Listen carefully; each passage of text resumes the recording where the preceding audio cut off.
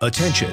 If you or a loved one was diagnosed with mesothelioma, you may be entitled to financial compensation.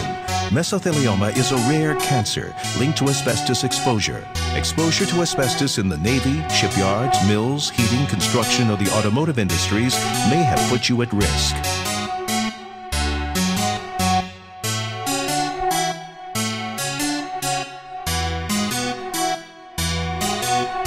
Attention! If you or a loved one was diagnosed with mesothelioma, you may be entitled to financial compensation. Mesothelioma is a rare cancer linked to asbestos exposure. Exposure to asbestos in the Navy, shipyards, mills, heating, construction, or the automotive industries may have put you at risk.